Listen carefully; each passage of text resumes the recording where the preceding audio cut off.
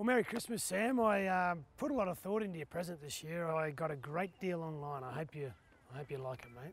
Thanks, Lockie, but you have to be careful. There's a lot of scammers online that have fake websites. They use sophisticated designs like stolen logos, domain names, and even stolen Australian business numbers. Really? Ah, I don't think that'd happen to me. Oh, love the shirt. Thanks. Yeah, it's your colour. It's, uh... Uh, Lockie, I think you've been scammed, mate. Wow, I can't believe that. Mate, can happen to anybody.